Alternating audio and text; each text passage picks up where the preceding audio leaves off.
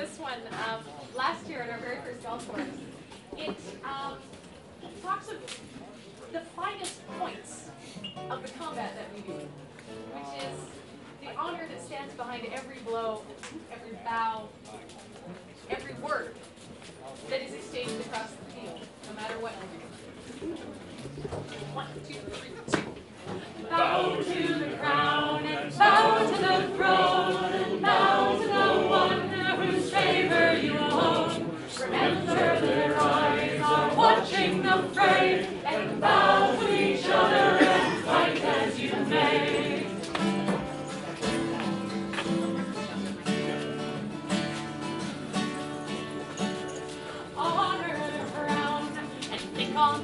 You.